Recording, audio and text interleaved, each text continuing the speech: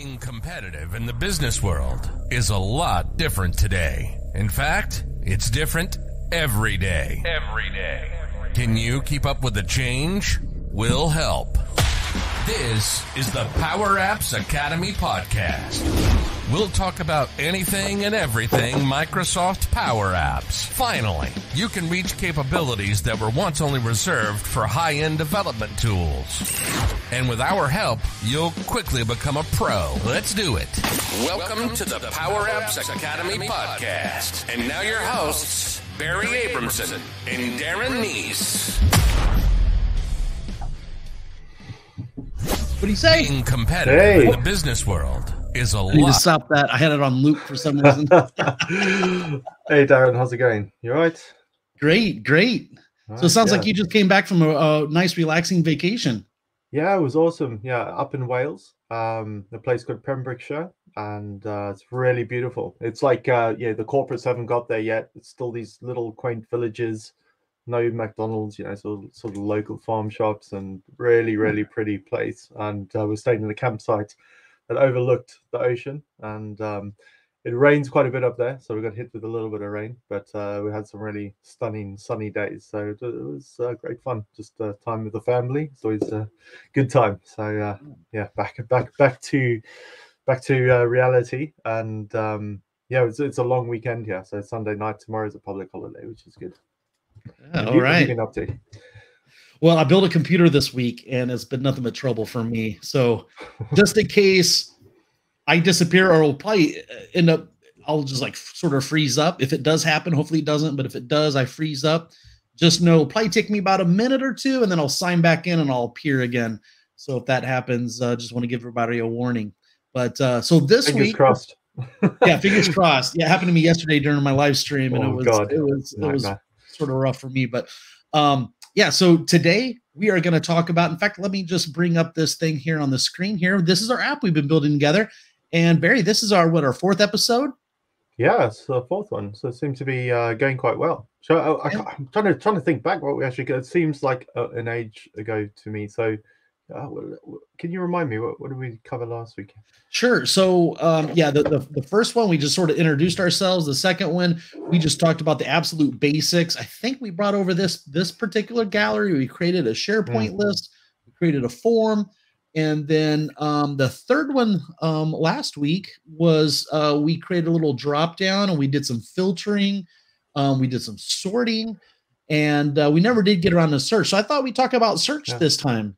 And and yeah, uh, this is like a good place to start. I think I think um you know just the stuff that we've covered in the last four episodes. If you're a newbie, these are fundamental things that you need to know, right? I mean, have you ever built an app where you don't use any of this stuff?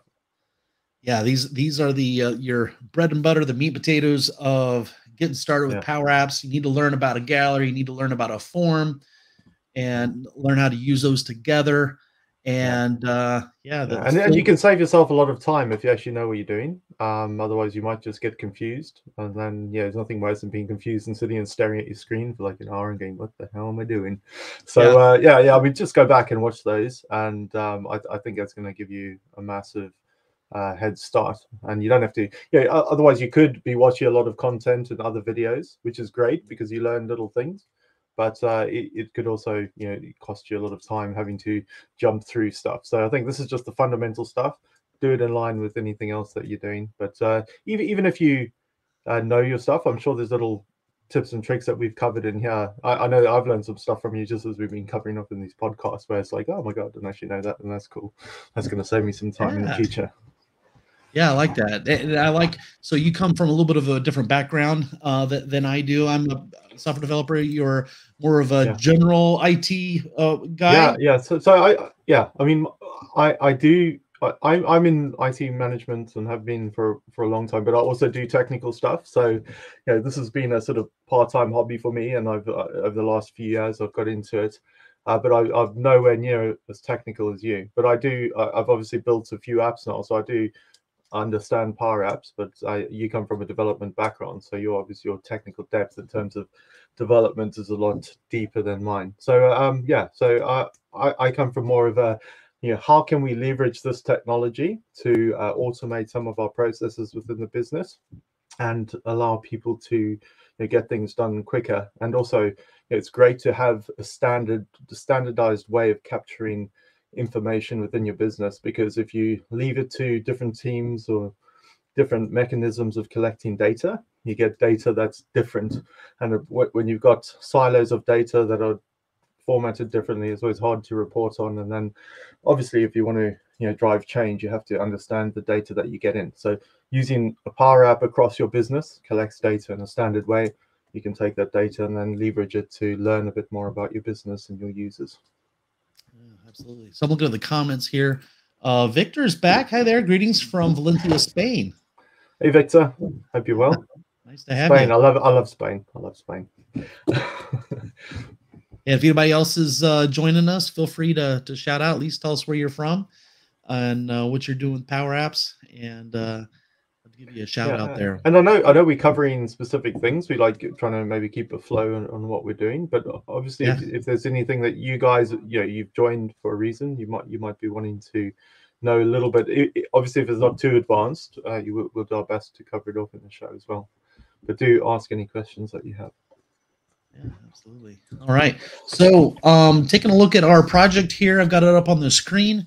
And here is our gallery. Now, if I open up the coding window here, this is where we left off last week. So we had a good filter in here and doesn't look like we're doing any type of sort. Yeah, just um, just quickly, Derek, just just just as a refresh, I know we did a recap in general, but uh-huh. just to recap what we've got here, we've got a SharePoint list as a backend.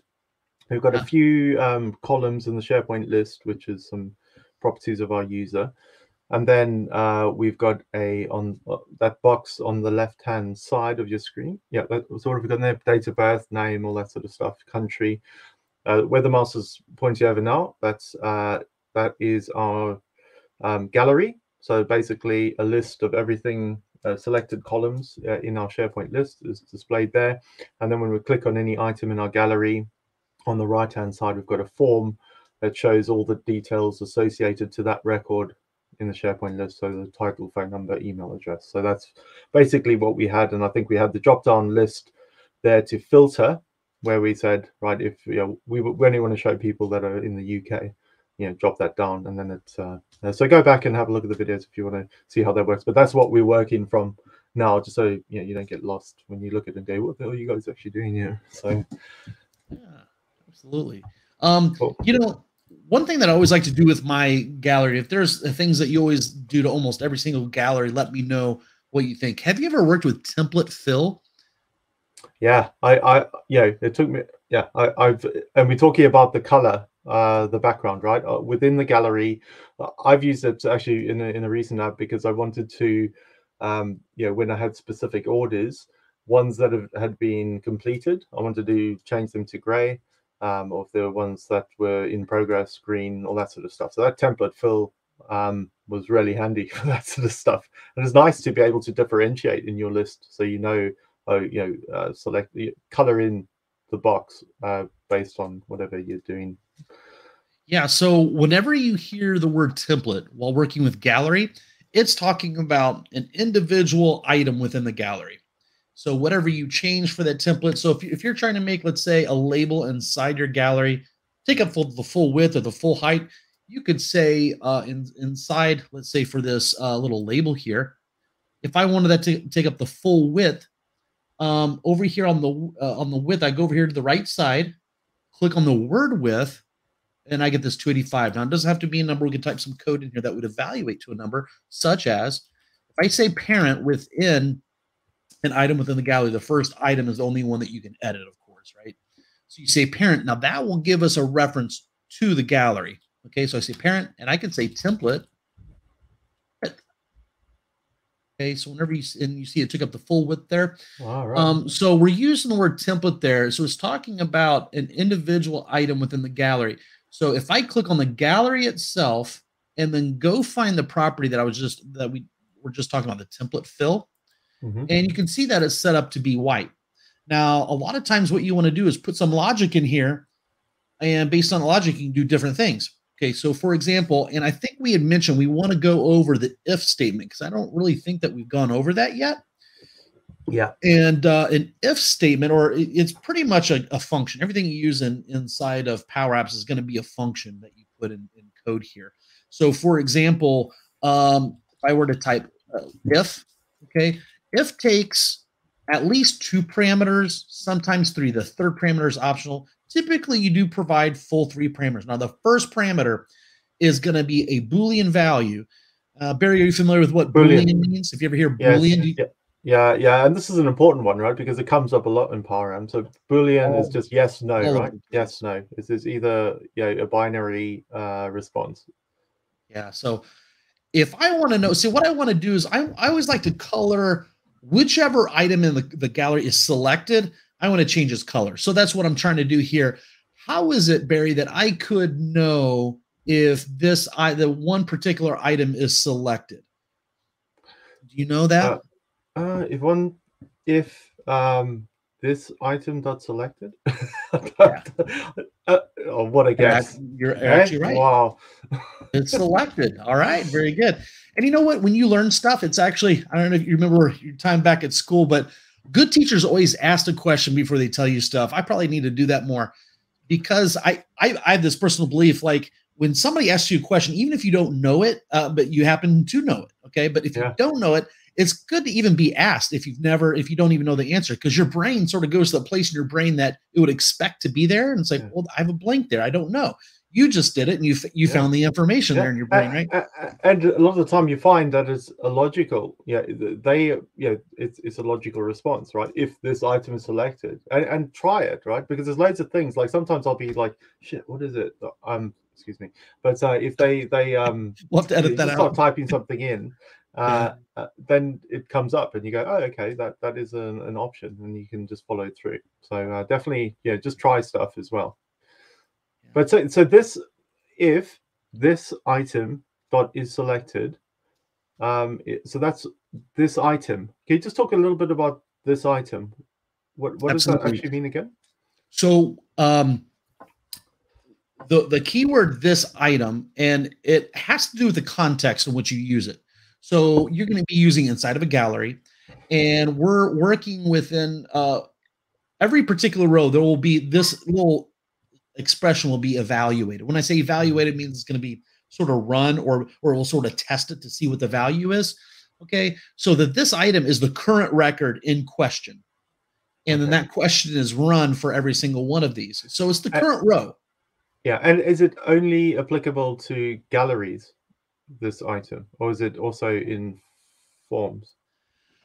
I would imagine if they were to create another control like a gallery, because you have other repeater, you have uh yeah, it's a controls. repeater. It's yeah. So so because it's a repeater, it's this item in the gallery. The form isn't really a repeater. It's just showing you uh what's the what the parent is, what the selected item is, right? The details of that.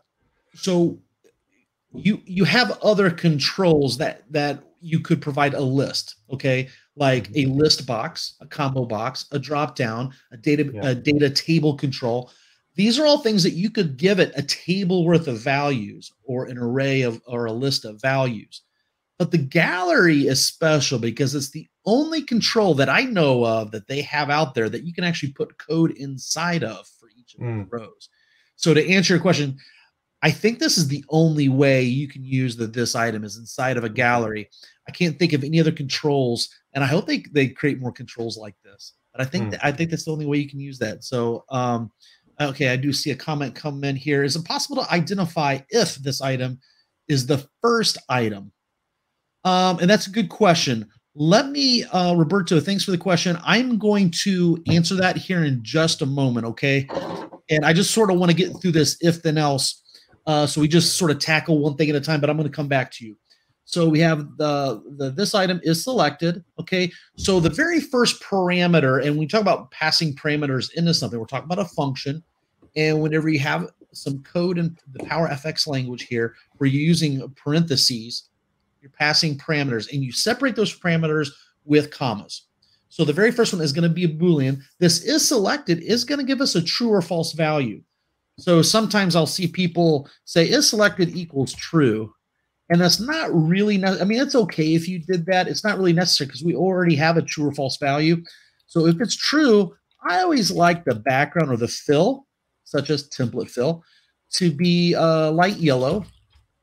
So, so just to cover off there, where you said if this item dot is selected, you could uh-huh. have said equals true, but you don't have to put that. Yeah, you could have. Yeah, I could have yeah. said true.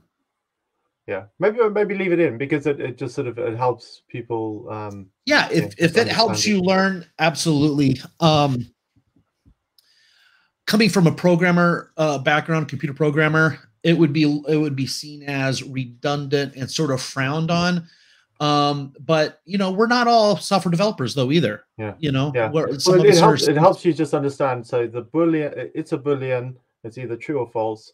So we've said if this is selected, then uh, if that is true, then yeah. you know go into the if statement. Yeah. And if you look at this equal sign, and uh, so the Power FX language is, is sort of like a programming language, okay? So also the equal sign, that itself is called in programming languages called an operator. And an operator like the equal sign, greater than, less than, it will give you a Boolean value as well. So that's why we're, again, getting a Boolean value even by doing that equals true. So that's the first parameter that you're going to uh, provide in an if function. And then the other two, the, the, the second one is if it is true, what do you want to have happen? Or what do you want to return from that function? So a function, uh, functions typically return a value. They don't have to.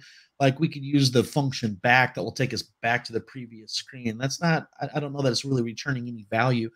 But uh, if you ever use the function called patch, if you're a beginner, maybe you haven't used the patch function. The patch function allows you to update a record. Okay it will actually return a value. A lot of people don't realize it. it actually returns that record that was updated. So if you ever need to patch something, a patch of one record, and then throw that value into a variable, you could actually use the value that's returned from that. So just thought I'd uh, give you that as a bonus. so the second parameter, this light yellow here, is what it's going to return if this is true. And then the other one is the else block. Um, which is if this is false, then it's going to do this. And and uh, because it's a template fill, it's expecting a color in the if statement, right? So if this logical yes. test is true or false, then um, return a color. You couldn't put something else in there, right? It has to be a color. Yeah. So in in this context of the template fill, it is expecting a color. However, we could use a if then else. Check this out. I can copy this and I could have a little label inside this gallery. And what we could do inside this um, this label here for the text. Now, this is not a color. I'm going to paste this in, and instead of providing colors, I can return strings. Okay, and I could say this is selected. Okay. Can you yeah. see down here? This one is selected. It's colored in yellow and it actually says this is selected. Isn't that cool? Yeah, that's cool. So, but but so the the template fill is a color property, therefore you can only use the color. Um, yeah. And with the other one, it's yeah, you're not limited to. Uh, yeah, you, you you're putting a text in. So I know I've got a little bit confused when trying to set uh, colors and trying to put a different you know type of value in there, and it doesn't work out. Yeah. And perhaps you know we we could do a whole um episode on colors because there's all kinds of functions that you can use for colors. You don't have hmm. to, uh, you know, give it a name. You a hexadecimal value. Yeah. You could um, use you could take a color and do a color fade, yeah. and you can either. And that's what they do by default, don't they? They always put color fade. I've never used the color fade. I always just replace it with a color. But if you look at the default, it normally has fade, whatever. So I'd be quite interested to see how that actually works because uh, I don't really yeah. use it in my apps.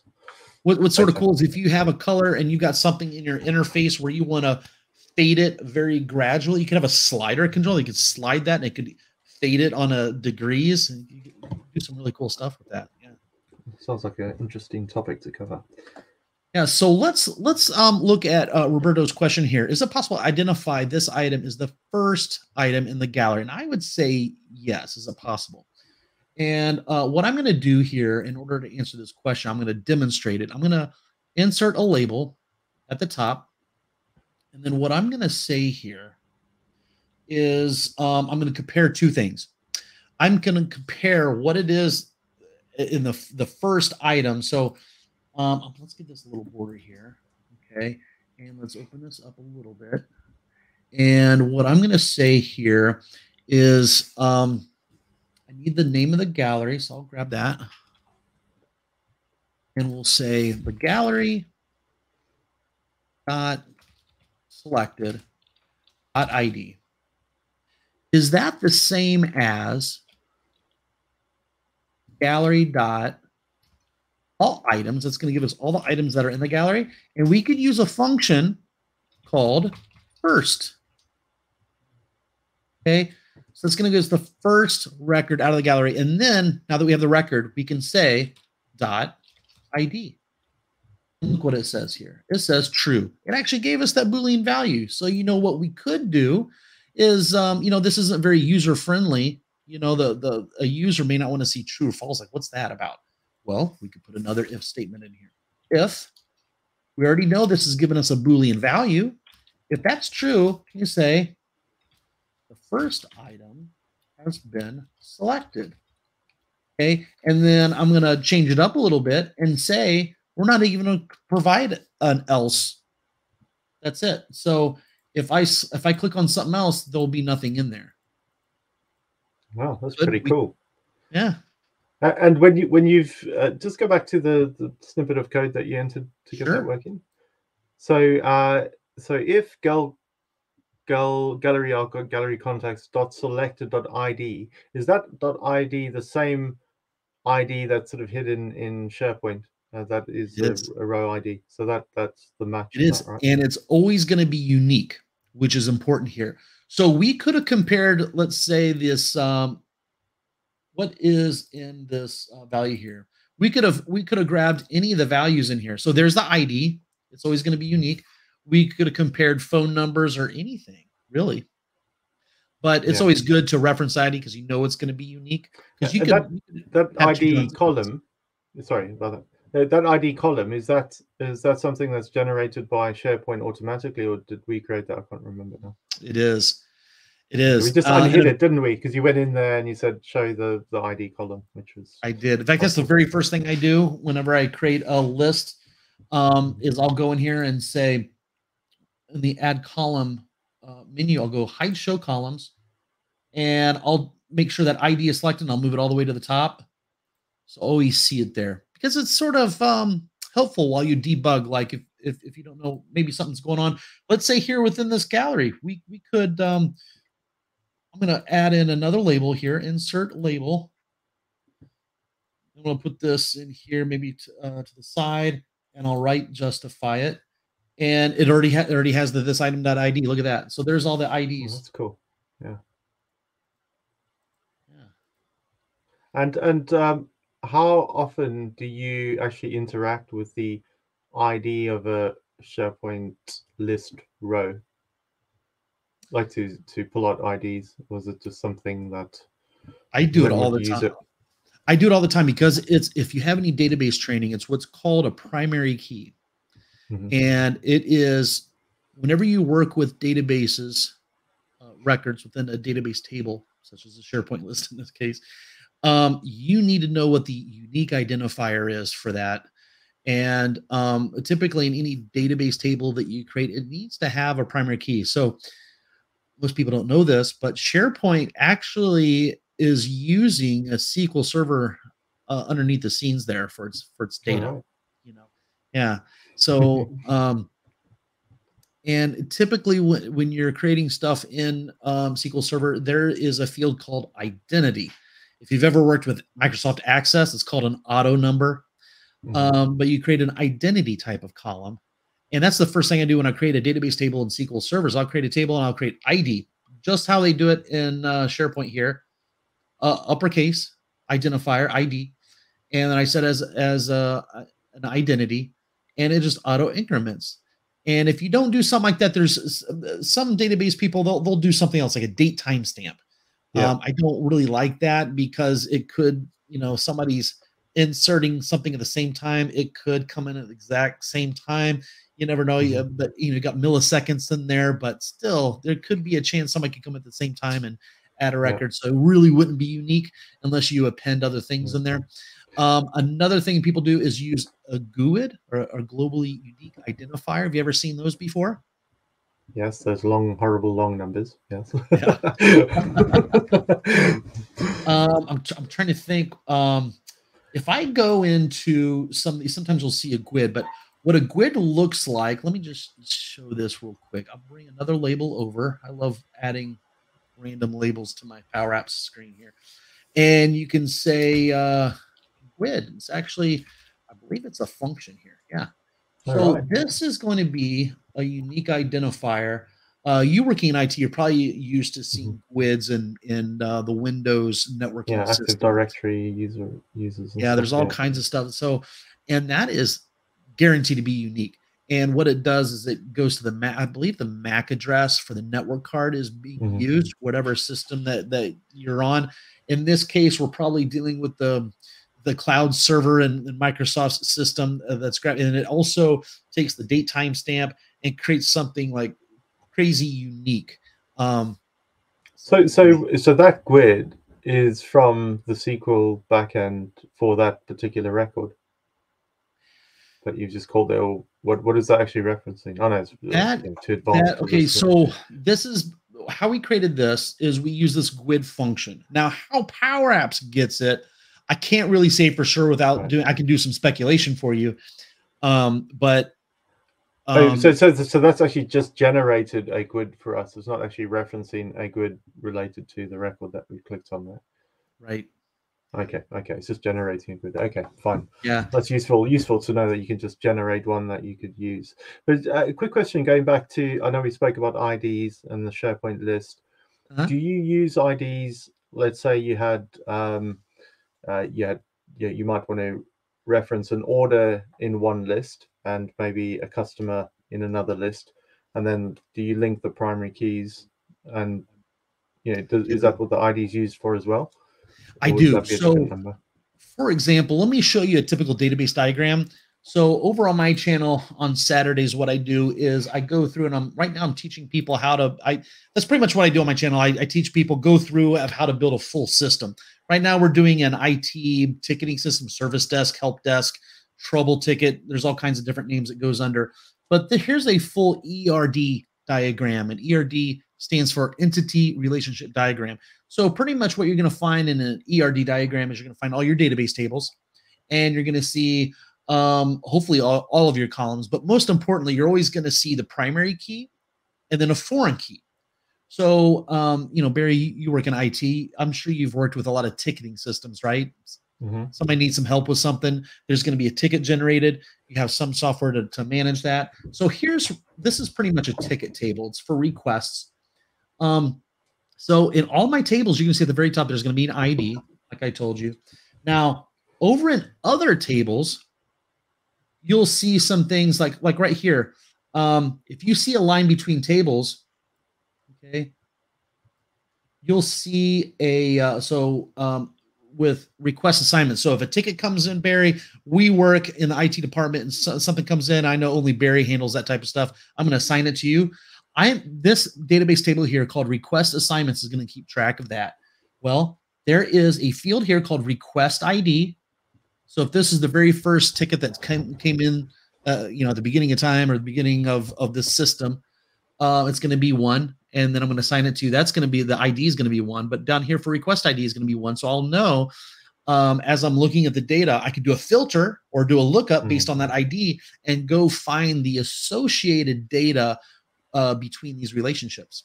Okay, so those filtering commands on the galleries can get quite complex depending on how many backend you know lists or databases tables you're working with? Yes but you typically only deal with one at a time. Um, now there there would be an exception that now you can't uh, in databases there's um, relational database systems you have a, a language called structured query language. It's not really a programming language like c or c++ it's it's a query language. So it allows you to query data. And um, there is a concept called a join so you can grab data from this table and this table, you can join them together based on these relationships, and it will give you a, a one big result set from both the the tables in a in a certain way, depending upon how you structure the query. There's no real way of doing that inside of Power Apps. How you sort of do that in Power Apps is you have you use lookups and you use uh, filters. Okay. Interesting. Yeah. So I think I think you know as a future one, well, I'll make a note. Uh, really be I'd be interested myself just to understand when you would you know use multiple lists versus just you, know putting everything in one list, and when you do do that, how do you link them together? So uh, I'll make a note of that. Yeah. So as we build out perhaps another related table, as as we build out this application, Barry. Um, so right now we have contacts. Well, each contact might belong to a company. So we could have a companies table. And then, then each of these contacts will have a field in there called company ID, and it would, it would refer over there. Um, now, I actually have a video. If you do a search in here, uh, YouTube, and say Darren Neese relationships, let's see if it comes up right away. Yeah, it's the first results that says how to set up relationships in Power and it's a just a little 12 minute video, and it shows exactly how I set that up. However, we'll be doing all that in this series just as as we sort of progress and add on uh, more features and tables and such. Cool. Thanks. And it looks like we have some uh, more comments here. So Victor says, "How do you filter between a range of birth dates in this example? Let's say a person older than 30, so that you can use search function in the filtered result is less than 500 and starts with if it's higher." All right. Well, that sounds uh, like we're getting a little complicated, huh? Sounds pretty complicated to me. Um, so what I'd want to do, Victor, is sort of break that down a little bit.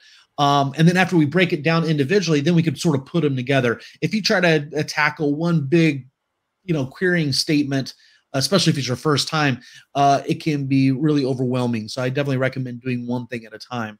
So uh, Barry, I know we uh, what what we plan on covering tonight is um, search and yeah. I also put in there starts with because those two things sort of go together um, in a lot of ways. Um, so we're definitely going to get to that tonight.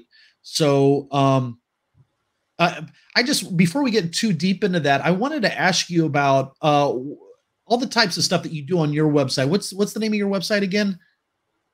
Um, so powerappify.com. So so um, I'm going to try to type that in again. Power a p p i f y right? Yeah. dot com for some reason, yeah, sometimes no. Uh, try HTTPS www. It's the platform I'm using behind that seems to act a bit weird um, when you just type in the Power App Finder. Okay, go. I think it yes. needs a www in there. Yeah, yeah. So, so, so, so, yeah. So, what we do uh, here on our website is we develop applications that can be used um, for, I suppose, in entry level teams like IT teams who want to get involved with Power Apps. So it's nothing too advanced, but it's uh, some applications that you can get up and running in your team. We've got a hardware ordering app. We've got software or service application request app. We've got a, a launch digital digital launch pad, and we'll be adding more applications in here. And uh, basically, uh, two of these are free. You can just download them, play with the code, customize them, um, just have a look at how uh, we've done things in there. And then there is a paid for one, uh, which is the IT ordering app, and that's a shopping basket app uh, where you can order stuff. Or let's say a user wants to order a new starter kit, um, laptop and screens and all that sort of stuff. Now, are you talking about this one right here, this IT ordering yeah, app? Yeah, okay. Yeah. I have a question. Why are you charging so much for that? Five five pounds ninety nine. So so it, it's really um, a way uh, to learn how to do things. A lot of the work's been done in there. So for me, I'm, I'm not out to make a lot of, uh, I'm not charging a fortune for it. I'd like to right. get people to download it, have a look at it, see how it's done, uh, make it available for people who are interested in getting into Power Apps but haven't really used it and going, well, what what kind of app can I build? Right, these apps that I've created here are for IT departments or HR departments. So I'm working on an HR one at the moment so it's ones okay. that you could, you know, for a small to medium sized business, you can download uh, and start using it, you know, within the day if you follow the instructions, and you can customize it for your. So for for the price for for the price of a coffee, you could get a fully functional app, right? Yeah, yeah.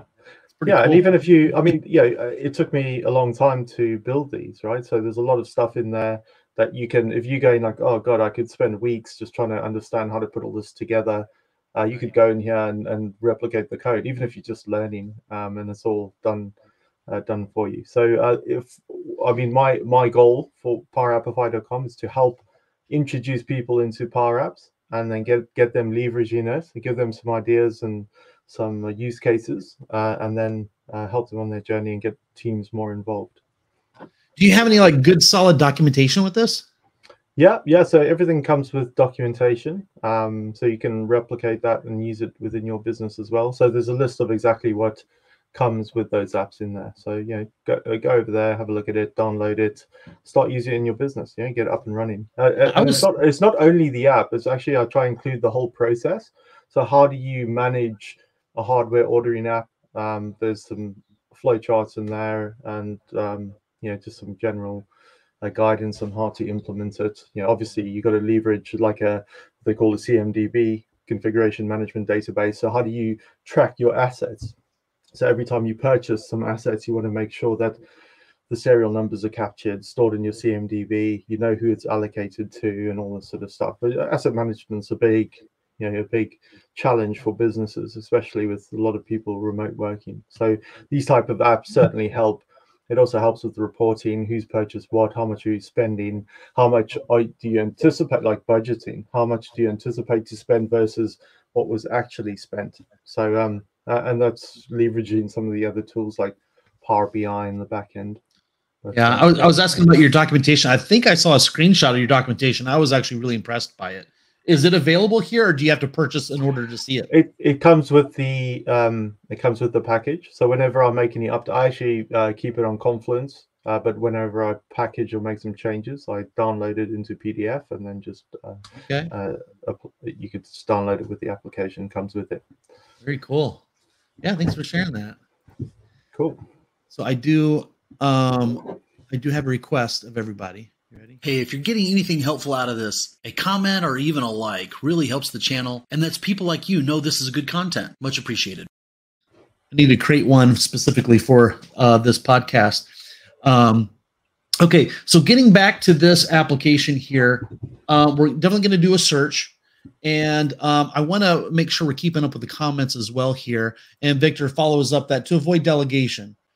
Um, and so, Victor, yeah, I'd like to get around to all that if we do have time tonight. But I'm going to be, be honest, Victor. These are great questions. These are things that I I, I want to get around to. Um, so let's let's make sure we we catch up to all the comments here.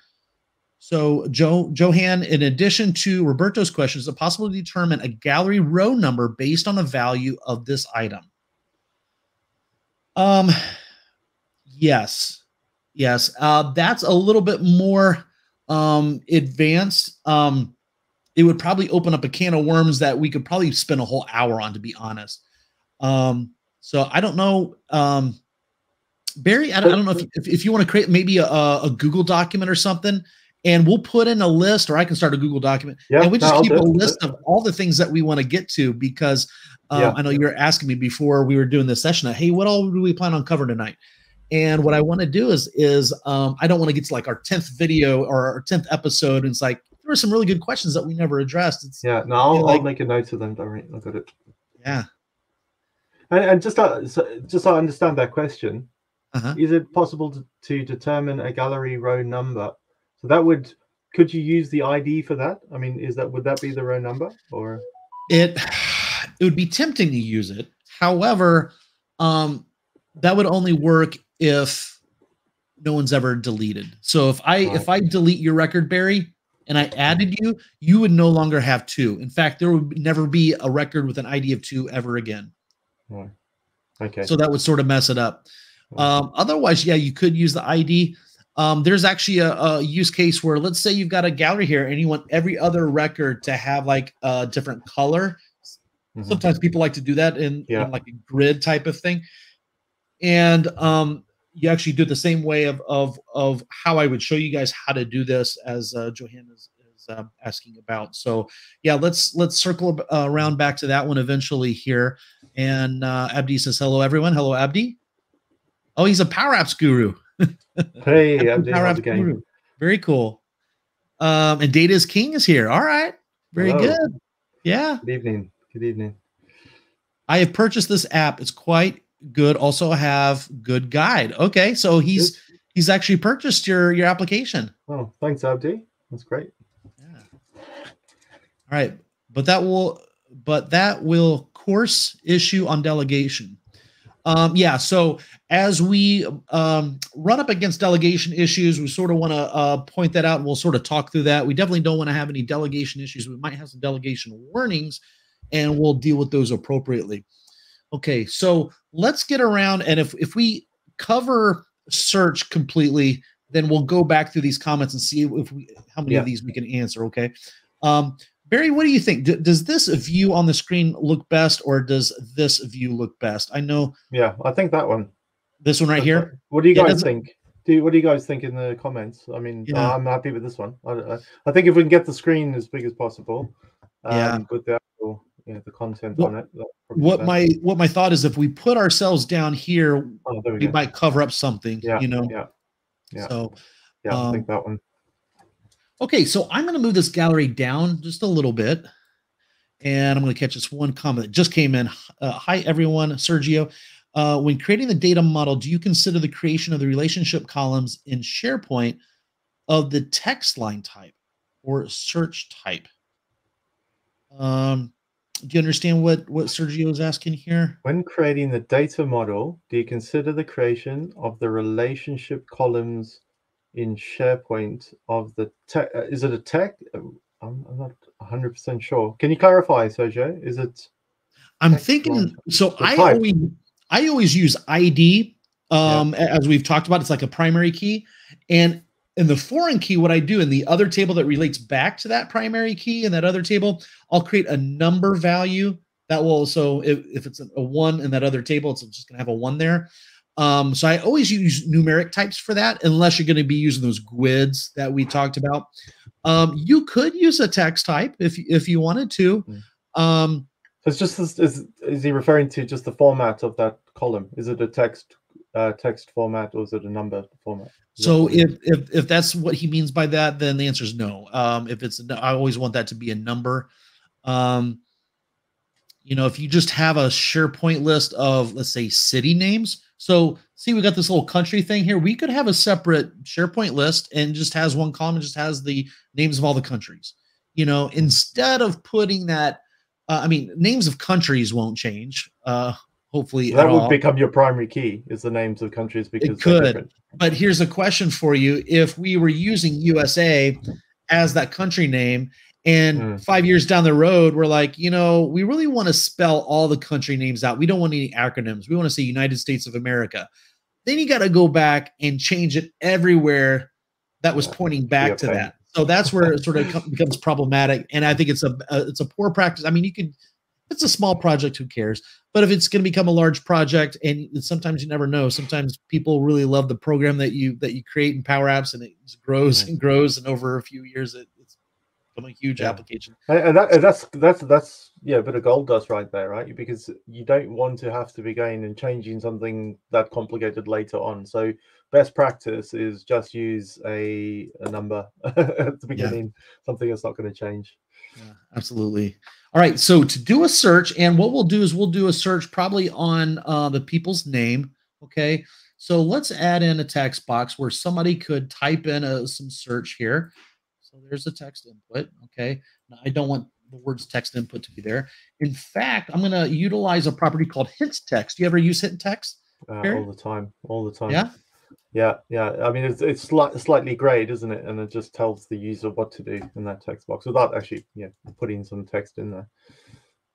And what I'll do is I'll make this just as wide as the gallery here. I And, and do you do you ever use the tooltip as well? Because there's this there's the that what is Yeah. that called? In fact, as we're setting up the search, we could set this up to do search inside the title. Okay, so the, the mm-hmm. names are stored in title, but we also might want to search in. Well, let's look at all of our columns here. What if they want to search for phone numbers? That's that's fairly unique as well. So if you know somebody's phone number and you don't know their name, well, we want to search in that well. So let's say we're going to search for the name and the phone number. Well, we could actually say in here in the hint, sec, uh, hint text to say search for client uh, contact name or phone number. Or we could just say search. And then down at the very bottom, there's a property that, that you hinted at using this tooltip. And we can actually say searches in contacts full name. Lost. Um, need all that uppercase. Let me make that lowercase. Yeah, and, and while Darren's typing, it's always useful to put in as much information, right? Because what what might seem simple to you, there's always someone who will come along and go, "Oh my god, yeah," and try and break it. So uh, the more help that you can provide for users in the business, the better. So let's say I wanted to list out, I've got maybe eight columns that the search is going to search on. Well, I wouldn't want to, that would sort of clutter up this bar, right? But now, since we have the tooltip, we hover over this and look at that searches and context, full name and phone number. So we can provide all kinds of information in that tooltip.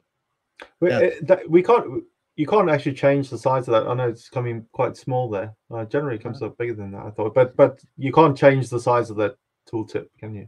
I don't know of any way to of yeah. of uh, how to so. do that. Yeah, I haven't come across. I believe it it's it's either controlled by the browser, but I think it's probably more importantly uh, mm. controlled by the system. So like Windows, I'm I'm running yeah. Windows 11. Yeah. So okay. I believe it would probably be, uh, and it may not. You probably have to make a registry edit change, perhaps, or or some other uh, mm-hmm. change um, okay. to actually increase that. But um, okay, so we've got a little uh, uh text box that we could type in here. Okay, so we've got that. And then what we want to do is um, we need to change our query for our gallery. So we're want to display this here. Um, now I need to make sure I got the gallery selected. I'm going to go find the items property. And that's right here. Okay. There is our filter. Okay. Now let's search we'll use this as a data source and we'll wrap the search around this. We're, we're going to start nesting these things here. So we'll say search. It's going to be a function. So I've got the um, opening parenthesis and I'm hit control N. And at the very bottom, I'm going to use a closing parenthesis. I'm going to indent a filter. Okay. So the very first parameter that we're going to give the search is the source. Do you, you see that? uh, right where my cursor is moving around here, mm-hmm. there is the syntax in which we need to use the the the. If you ever heard the word syntax, syntax means the rules of the language that you're trying to use. In this case, it's PowerFX. Okay, and we've got this search function within PowerFX. The first parameter is the source. So whatever filter gives us is going to be our source. Okay, that's the first parameter. Now to go on to the second parameter for search, we need to use a comma. And and Power Apps doesn't care if it's you know you nesting things. You, it, there's no limits on in terms of what you can nest, because uh, it's quite easy to get lost in the structure of how the uh, the commands nest in. And I suppose a lot of a lot of the way of working around that is how you format it, right? In that window, like you put all the indents in. So uh, to help you not get confused, because if you remove that format, it would just be a long line of text, which could be confusing. Yeah, yeah, that's true. The the indentation that you see me put in there sort of helps keep things straight as things get bigger and bigger and uh, more complicated. And when you open it up and it's nice and formatted, it looks much cleaner. And you see these little vertical lines in here; those sort of help you um, keep sorted out as well, keep everything nice and organized. And um, and Data is King says, I have found that adding comments is very important, especially when you have multiple filters and searches. Mm-hmm. Okay. So, yeah. for example, um, well, you know what? Um, I'll add comments uh, whenever I'm done here. Let me go ahead through here. So, text is what we want to search for. Now, we let me go over to the tree view control and I have it named text input, so shame on me. I didn't give that a meaningful name. Let's give it a meaningful name. How should we name our controls? Let's say for a text input, Barry. Well, normally txt underscore uh, and keep those lowercase, and then I normally yeah. put a, ca- a, capital for underscore and then a capital for whatever I call it. Okay, so here like uh, search criteria. Yeah. Or even just search. Now, I personally I don't use the underscores there is that um was was that like a best practice from where you were working before or Where did you just something, just something I'm used used to. Obviously, you know, Yeah. it's just, it's, in it's some cases, some in some cases, people will put underscores just to sort of separate names and stuff. And um, in some cases, it looks better. So for this case, I'm gonna I'm gonna leave the, that underscore in there. All right, so we'll use that. Now I'm gonna click on that. I'm gonna hit Control C. Now I'm gonna go back in here, and uh, for the the text that we're searching for, I'm gonna paste in that text box name, the text input, and I'll say dot text. Okay, so that's what we're looking for, whatever's in there. Um, now I'm gonna enter another uh, comma there. And for the third parameter, it wants to know what columns. Okay, so I know the full name is is put into the, the title uh, column there. Okay. Um, now you notice title does appear down here, but it's got double quotes on both sides. There are some functions that you just can't give it the name of the the column. It wants it to be inside of double quotes, which means it wants to work with it as a string. Okay, so I'm going to select that title. Um, and then what we're going to do here is we're going to add on another column. So the third parameter is actually sort of, you can have multiple things as the third parameter. So third parameter and also, and uh, going on. So we're going to say phone number. And let's see if we can see it. It is in double quotes there. So I'm going to select that one. Okay and I'll move that down there. Okay, so uh, we do have double lines here. What do what do double lines mean when you see them, Barry? Double lines. Uh, I don't know to be honest. Yeah. Well, if we hover over, you ever seen any red squigglies? Typically yeah, yeah, yeah, yeah. It's an Have you error. ever seen that? You yeah. hover over that line. So in this case, we see two double lines. If you hover over that, it's giving us a warning, delegation Mhm. warning. The search part of the formula might not work correctly on large data sets. Okay. Um, that's a common. That's a common uh, delegation warning. don't panic when you see it. Absolutely. Yeah, that is the yeah, that's the delegation. If you see Yeah. that, you might want to think about re, uh, doing things a little differently. Um, so here's the deal with search. If you're working with SharePoint data, you really don't want to use search unless you know the data that's in there is never going to exceed that 2000 record limit. And just as a review, I think we talked about this in a previous video, but I'm going to go into settings. So if I go up here to the top, it says settings over here. I click on it. If I scroll down a little bit, you'll see data row limit. The default is 500 and you can increase that up to 2000 2000 is the upper limit you can't increase you cannot increase it any more than that um so if you always know what the data source you're working with is always going to be under that 2000 you can ignore that warning if you want to okay if you Mhm. really want that search now that search is going to find whatever we type in that text box anywhere inside their full name and anywhere inside their phone number okay but we have that delegation warning so this statement is going to give you delegation issues if you're working with SharePoint as a data source. If you are working with Dataverse, you don't have that problem. You need, when you set up that column within Dataverse, say this title here, um, you, there's a little checkbox like allow sort or allow search on this column. You want to make sure that's enabled. I think it's um, set up by default. So if you know you're never going to, you know, search on, you can uncheck it. But So is, is the delegation an actual performance issue, or is it a limitation issue? it's a limitation. Yeah. So Power Apps um, can only work with up- up to 2000. By default, it's 500, but you can set up to 2000. And um, it really is more dependent upon, um, and really there's no reason for Power Apps to display like 2000 records on a screen, right? So what you want to do is you want to delegate that query. You want to delegate that work of querying and finding exactly what you want to the data source. SharePoint says, uh, no, I'm not going to do that work. You just take all this data. And Yeah. oh, and Power Apps is like, no, no, no, no, I only want 2000. You know? Yeah, but it could but- but also, I mean, could it be a uh, a performance issue because you're returning all that data to your app, therefore more memory consumption? Yeah, could it? Uh, know, Yeah. um.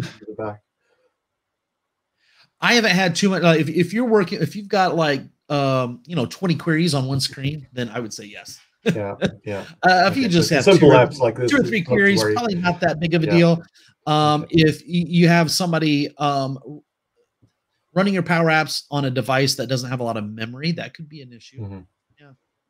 Okay. Um, but what I wanted to say there is, um, if you query uh, Dataverse in the same way, Dataverse is like, yeah, I'll do that. It won't return everything. It'll just return exactly what you're looking for. You know. Um, so that's sort of like the upside to paying for that, that premium license. Yeah, yeah. Get that. Um, okay. Um, looking back. and, and at- with, with with this so as you type in text into the text box because you put the text box as being the source of the string that you're trying to search Uh-huh. it's it's going to start doing it as you type in right? Yeah. so it's going to start yeah. Well, that's pretty cool. So you don't you don't have to have a button there that says search now you know after you've typed it out or anything like that. And w- would would would there ever be a case where you might want to wait until you've typed it all in and then click search now? I can't think of one Um,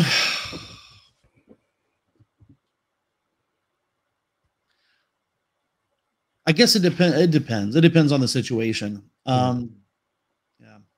yeah okay i can't think of one i don't think so so Yeah. cool all right that's that's nifty So I left Data is King's comments up here because I just wanted to make sure I didn't. Uh, because it's very easy to put these in here. Okay. So for the search, this is data source provided. Okay. And then comment here. This is the string of text. do, do you go into that level of detail because I, I my habit is just to put a comment at the top of the thing just saying at the top of the command just going you know this is what it's doing do you actually In break it up like that that- In something like this, I wouldn't. Um, however, I've I've had queries like this that are that could be like hundred lines of code.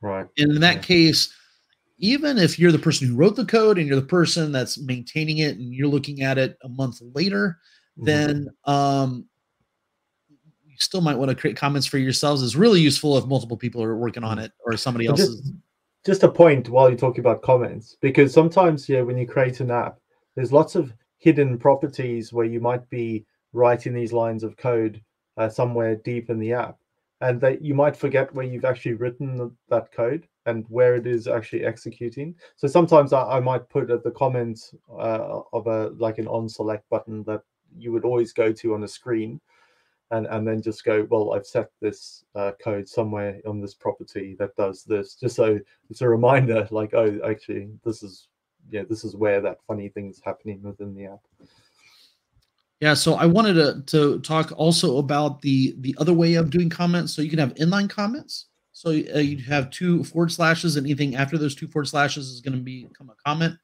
And also, I use comments to sort of disable code. Um, so sometimes you're like, oh, I don't need that code anymore. Well, a lot of times instead of deleting it, you might Yeah. want to copy and paste from it in the future. So I just comment things out sometimes. Um, you can do a block quote. So you do a forward slash star, and then somewhere on another line, you do a star forward slash. Everything between those two is going to become a comment. yeah Yeah, because I've, I've done that before deleted some code and then you're going like oh i should have left it there so uh, you can always come back and tidy it up later right when you know you're definitely not going to use it again then Absolutely. So thanks, data is king. And um, it looks like I I missed one comment up here by my channel. Really good content, guys. Doing episode three in the series, not seeing it as a part of your previous series. Okay. uh so that was the last one i i if you're on my channel um i haven't uploaded it but if you're on darren's i think you did upload it so um let's, let's see here. Um, now we do have this isn't we do have this is a real podcast where we have an audio version of it. So all three of those, and then this will be added to it. Um, and we're looking into perhaps um, is that perhaps we need to look into it and see what's involved. But we could actually live cast this to Barry's YouTube channel at the same time. That probably would be helpful so Yeah. that everything is is it's going everywhere in the right spot so um so my channel um so everything should be let me see here um if i go into so i see by this little um icon so he is coming from youtube and the only way that i'm that's streaming through youtube is on my youtube Yeah. channel right now so um, I'm looking here on my channel. So here we have this. So this is number four. Now, if you go into here, of course, I need to mute myself as soon as I get in here, which I am. I'm going to pause it. Um, in the comments, if you look here, here's all of Barry's links and then mine. But um, here's the uh, whoops, audio podcast is right here. Just want to show you that. So we have the first three there, and the fourth one will be there um, soon after we finish this.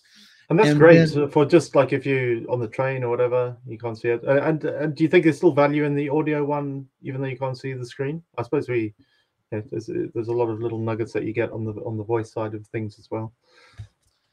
Yeah. So, so you're asking you're you're asking the audience that they get value out of the audio. Yeah, Yeah. yeah, and I, I think because it would be worth noting uh, if we need to describe things a little bit more for the audio podcast. If if you guys are going to start listening to that, yeah, we might we might need to just describe a little bit more uh, of what we're doing in, in in the way that we talk. So uh, that will be, be some useful feedback. Yeah. So um, here is the uh, full playlist as of right now, and um, I really need to put that into the um, the comments of, of all all of the the videos. So um, I'm trying to think. Um, so anyway, those are all there, and then Barry will have them all on his channel as well. Then we have the audio only, um, and we are live streaming to uh, Barry's Facebook group, which is Power Apps Academy. Is that right? Yeah, You yeah. do a search Academy. within if you do a search within Facebook, you'll you'll find that there. So we live stream there. Um, yeah, very cool, very cool. So hopefully, um, my channel you you get at what you're what you're trying to find there. Um, looking at other comments here. So Abdi says for row number to show, use this gallery item. Okay. Do you understand what he's saying there? For row number to show, use this gallery item. Uh, mm, not exactly. Um, Yeah, is that is that what you showed earlier on with, with the row number? I mean, that's uh, the row ID. Or is, Yeah. is he talking about the count of the rows of what what? Yeah, for count the rows. So yeah, so if I mean, if you look at the I- me displaying the ID, I am using the this item. So he says use this gallery item. So Abby, could you clarify what you mean by that? Because I don't know of anything that that um like what I would type here to to get at that. Um so it's a little it's a little more complicated. I think it's probably too complicated for this episode to for me to show how I know how to do it. Um, so we'll we'll keep that for for the Oh, future. Darren, uh, just a, quick, a quick clarification. Where it says this item, could you replace that with the gallery name, uh, or you do you not need to reference the gallery name in there at all? I mean, is it doing Okay, it so- behind the scenes? Are you talking about this label right here? Are you talking about outside the gallery? Well, yeah, I suppose. Could you reference where you've put it in the gallery? Could you reference it outside the gallery and have a like a have that number displaying outside of the gallery? Absolutely. Um, so you know how we use this little GUID here. I'll just use this label here. Um, so the name of the gallery is Gal Contacts. That's a good name for a gallery. Okay. So for this label here, I'll reference the gallery. And there is a property of the gallery called selected. Mhm. And then you can hit type dot ID and you can get at the ID. Okay, As I click it, you see how it's updated. Okay, cool. And some people call that linking controls. Yeah. And um, looks like Johan has some good information for us. You can use the delay text input. Um, I think I thought there was a property in there. I, I don't know, Barry, if you were asking me about that or somebody else was asking. Um, Yeah. About Yeah, no, we said I think when, when we ware going going on, do we need to uh, you know add add a, a search now button to wait for it finish typing? But obviously, there's a way to do it with the delay text. delay output. Okay. So I think, and I, I do remember coming across this, but I'm, I'm I was a little foggy on it. So thanks for pointing that out, Johan. Um, okay, so if we type in here, okay, so I just cleared it. Okay, and, it- and it responded. Okay, so what does delay text or delay input does? So if I, I type in a, maybe it waits a second. Perhaps I Did- might have to look that what- up. What did you set on the delay? What did uh, I set? input? Yeah. So it said false. So I changed it Ah, to right, true. right, true. Yeah. Okay.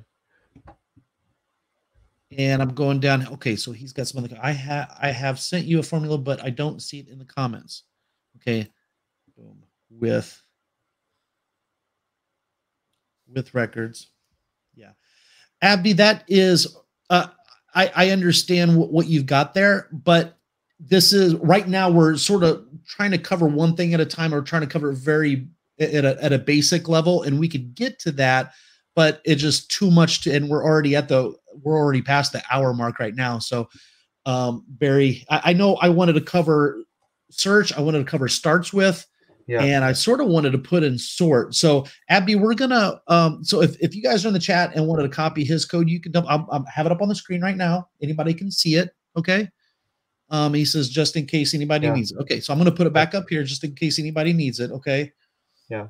No, that's good. Thanks, thanks for that, Abdi. And also, yeah, we'll, we'll make a note of some of those um, those commands that you put in there, and we can cover cover them off individually yeah uh, in in later. In fact, I think I I remember. Uh, look at Matthew Devaney. Try to spell his name right. Uh, he actually had something. Yeah, Power Apps generate row numbers in a collection. So if you go to Matthew Devaney, okay, and he's got a YouTube channel as well. So that's what he goes through. Okay, so um, so you can get it there as well. All right. So let's um let's move on. There's one last thing I want to cover here um while you're doing searches and a lot of times you want to be able to blank out what that search has open there. So the text box, the text input, um I need to start calling it a text input not a text box. Um is there is a uh, clear button. You see over here clear button? We turn Mhm, that on. Click in there, you can see this little X that appears. Ah, right, right. And so I can what, what, exit out. what was the other one? A spell check? Was there a spell check in there? Yeah, so Textbox actually can implement the spell check in the browser as well. Yeah. So if I turn that on, if I said AR, he's got a little red squiggly there, and I can All right click and Ah, okay, cool. yeah. So, so I know we focused on uh, using a text box because that's probably generally what we'd use. We, we won't go into combo boxes because I know that you know gets um, quite complicated in, in terms of when you would use it. But you wouldn't use any other input methods for search, would you? It's mainly just those two. Um, I mean, I've, I've never done it. I, I can't see it in the. I can't yeah, sometimes if I think about any other type of controls, I almost would reach for filter more than anything. Um, but yeah, if you've got like a special string, um, use search.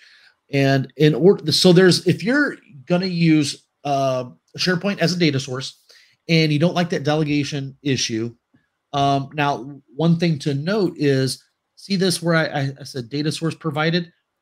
If you know that this filtering is going to bring it down to 2000, you can ignore this delegation issue because you're Alright. down below 2000. Okay. But let's say we don't know that. Okay. So we could rewrite this. Okay. So let me that. And there is another way of getting around this is to use starts with. And what that will do is it will match up the beginning of the string with whatever we type in there. And it's not quite as good as search, but it's a good alternative, to be honest. Have, have you ever ran into that, Barry? I've, I've never used starts with, so it'd be interesting Okay. to see how you use it. Let's, let me comment out this code because I don't want to get rid of it. Okay, so now we've got this code. Um, and what I'm going to do is I'm going to take out take out all the search stuff and sort of start with what we had before, which is the uh, the filter there. And and uh, Abdi says, "Thanks, Darren and Barry. Take care. Keep the good work." Okay, cool. Thanks. Cheers. Thanks, And- Abdi. Keep well. Yeah, and Johan says wait for three keystrokes. Um, so perhaps that's what it's supposed to wait for is three keystrokes before it actually does the the search. Hmm. Um, so I wonder, I wonder what the use case is for that. Wait three keystrokes, just in case you made a mistake. you know maybe if somebody's typing really quick, you wouldn't want all those queries going every single keystroke. Mm-hmm. You know, maybe wait for maybe one second for it to actually do the search. Yeah. That that would probably be a good use case there. Okay, so we've got a filter here. And what you do is you could say and starts with and starts with is a function that returns a boolean value. And when you're dealing with the criteria parameter for the filter, the second parameter, all of that evaluates to, to a Boolean. So what we had there before in our filter, it evaluated, it, it came down to a true or false value. So we're going to continue that with starts with, and we're going to say, we want this to start with. So it's looking at um, the text. Okay, so we're going to go take the um, text box here. I'll paste that up here. So starts with and what we're looking for um, the column let's say title. Right or is it the the reverse? I need to make sure that that's right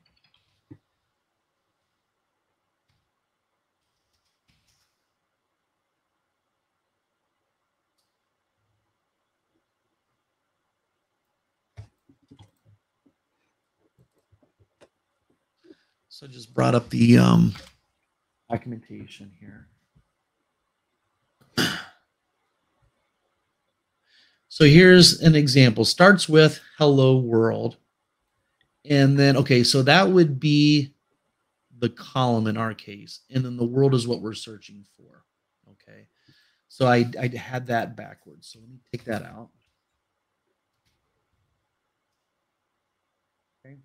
So notice we have no delegation issues. Now, if I start to type in um, Aaron, um, that's strange. I w- I didn't think it would bring me Darren. and that's sort of weird. Um, probably because I used an or. So what we need to do is make this a little more um,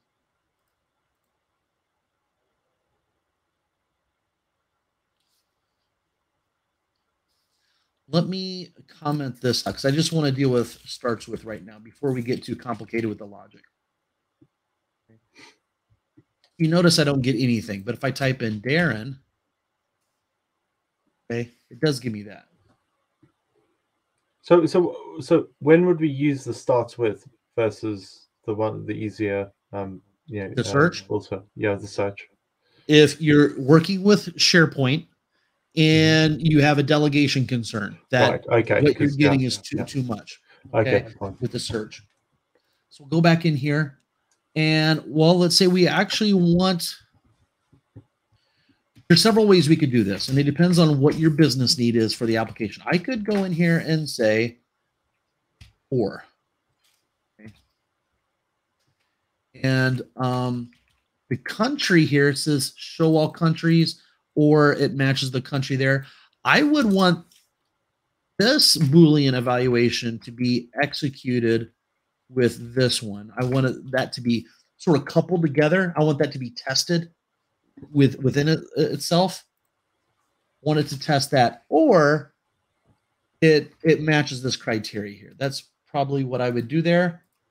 So now, if I take this out, okay, show all countries. Well, if I go over to the UK, what do we have here? We have, I think what the issue is, is showing, still showing me everything. See, USA, UK, Germany, because everything starts with an empty string, right? Yeah. So what we need to do, we need to get a more, a little bit more complicated here, and uh, with our query, and we'll say, well, if the length of that text box dot text is greater than than zero. That that way we know that we've got more than than one in there. Okay. Um and starts with. Okay. It's not even in a um logically it's not even going to use this if this is false because of that and. Yeah. So here we got UK. It's only displaying one person from UK. USA, and we got two there. But now if I type in Aaron, it should have re restricted that. But because we're using that or, Uh, we probably need to use an and here. Okay, there we go. And it depends. It, like the user's like, oh, well, if I search for somebody, I want to search across all the countries. And other people are like, no, if I pick USA, I only want to search within USA. Um, Mhm. So it depends on what. So, that, so, so what we're Yeah. doing there, just so um, you know, for those who might be a little bit newer to this, is we we've said if you just open up that again, we said filter um, our uh, contact SharePoint list.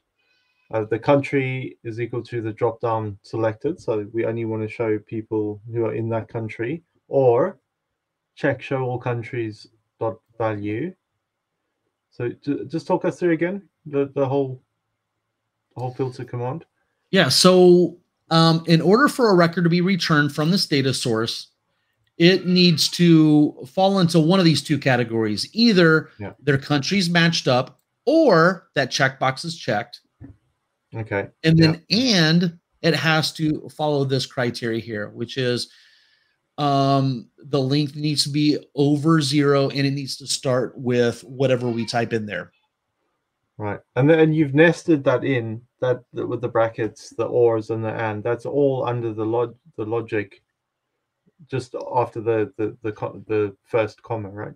Yeah, That's and, all and now that I'm dealing with it, what would make this much simpler is if we actually nested our filter statements. Okay, so for example, if I were to take all of this, and I'll cut that out, get rid of some of these spaces here, and then here we filter this.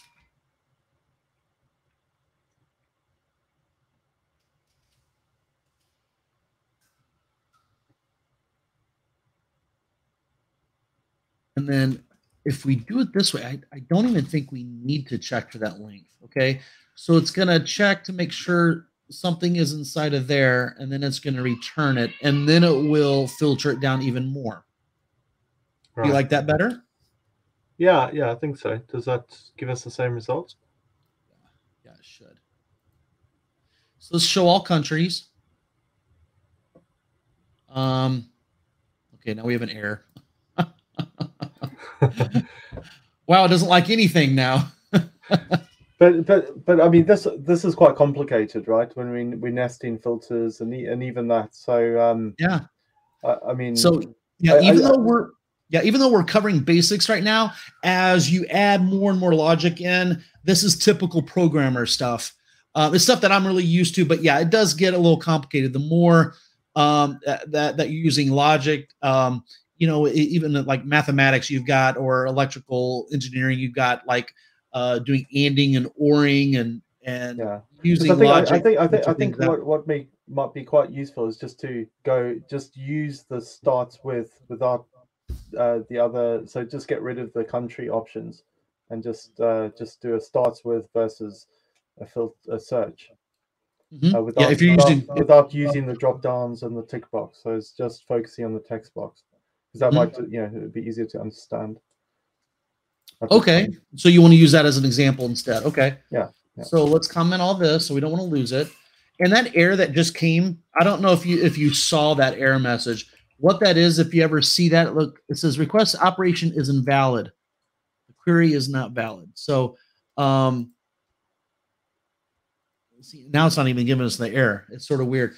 Uh, when I get a weird error like that, sometimes what I'll do is I'll just close down Power Apps and come back up, and it, it doesn't give me the error anymore. Maybe something Thanks, got confused there. But um, yeah, so what we could do is we could just keep it super simple, and we'll just do the starts with, and we'll get rid of well, get rid of that comma there. Okay.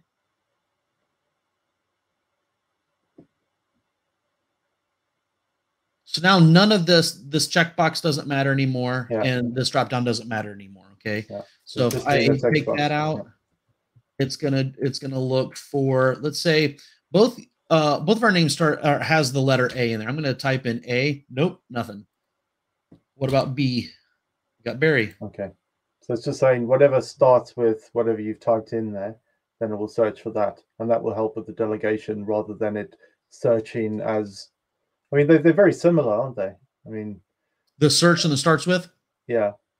I mean, how, how quickly does does the starts with start searching in the back? Because I suppose as you type in, it's going to be doing something similar as, as when you're doing the search. Yeah, it would do it um, the way that it does the search, which is right away, unless you use that property um, Delay. that, that we talked about here. Um, What Okay. is it? The delay input. Yeah. Okay. So that's, That's- maybe that's the delay input. there. You do the start. You you might do a starts with with the delay input. That'll give you some time to do the first few letters before it actually then sends it to the SharePoint list to execute, and therefore you might get around the delegation issue rather than the search, which as you type, is going to start doing it uh, right away. So, uh, Barry, before when we did the search, we were able to search inside the phone number as well. So, do you know how we would do this? Add on to this particular query to allow us to sort of do the search with the starts with with the phone number. You know what we would do, how Uh, we do that? Um, well, I'm, guessing at the moment we're searching only in the title, Mhm. only in the title column, right? So I got the title there. Yeah. Yeah, so we'd want to add in some, uh, I don't know, maybe and. So it starts with.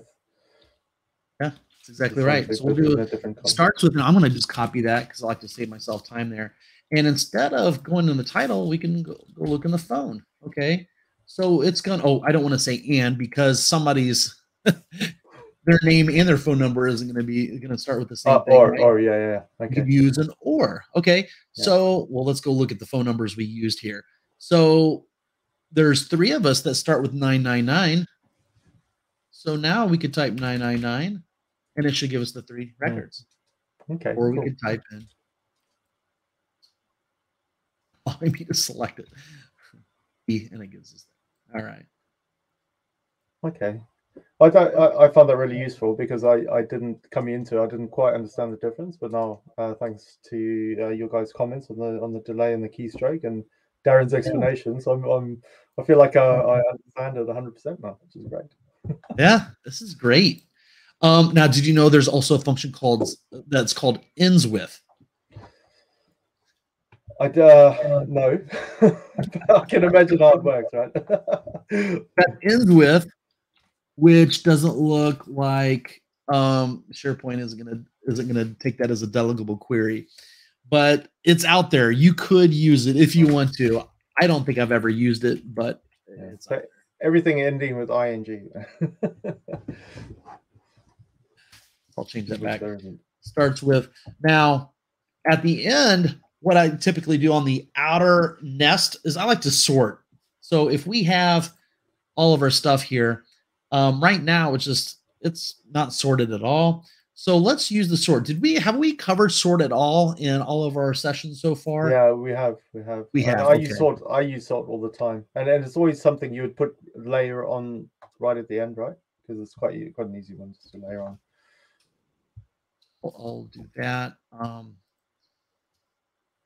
I like to make sure everything's indented. so there we go. Sort. The first parameter is the data source. We give it a good uh, table data source, and then the second one is the field. We actually have an optional ascending or descending. Ascending is default, so you just Mhm. leave that off if you always like ascending. But uh, yeah, you're number one. I'm number two, so on and so forth. Cool. So Barry, is there anything else that that you'd like to uh, cover tonight? Or No, I think I think I think we did a good job in. I think you did a good job in, in explaining that, Oh, and um, I, I I think we went. Uh, I- it got a bit complicated for me with all the nesting. Uh, but I think I think uh, when we broke it apart, that gave a good and a clear understanding of how they are different and how they might be used. Uh, I think, you know, we, sh- we we could probably have a look at nesting uh, as we go on, just how you layer those on top of each other to get them to work together, because I think that could be quite confusing for some people who who haven't been using Power Apps that long. But uh, I, I, yeah, that that sort of stuff comes with practice, doesn't it? yeah, I mean, yeah, it it's does. second nature for you at the moment. Yeah, I know I, I get I get confused when I have to nest all that sort of stuff. When to use brackets, when to use square brackets. Yeah, um, but uh, that that will come with time.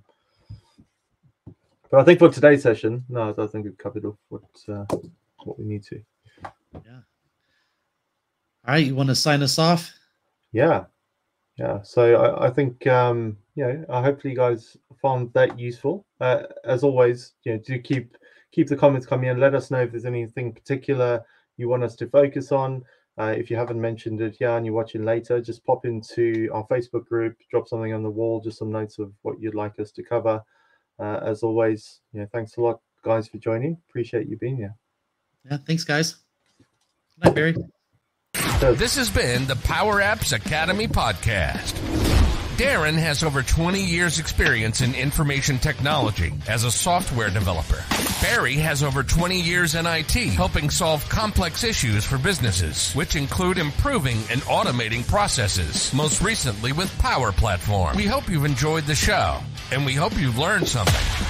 We'll be back soon, but in the meantime, hit up Barry's YouTube at Power Apps Academy and his website at powerappify.com. Hit Darren up on Twitter at DeveloperMCT and on YouTube at Darren Neese. See you next time on the Power Apps Academy podcast.